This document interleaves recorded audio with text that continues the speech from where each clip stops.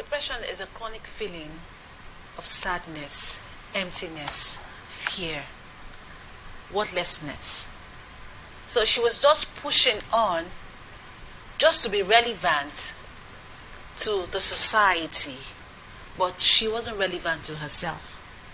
Now, there has always been this struggle where children they grow up into teenagehood, into adulthood with their childhood trauma.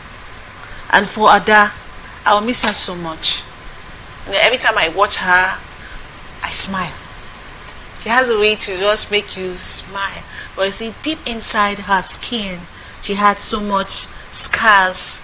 They were not healed. I'm sure maggots were coming out. And that's why she got to a point where she couldn't take it again. Yes. So it's possible to be going through a hard time.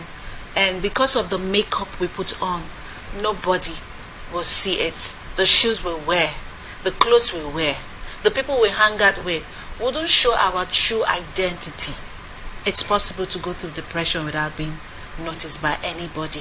Hmm. Yes, it is.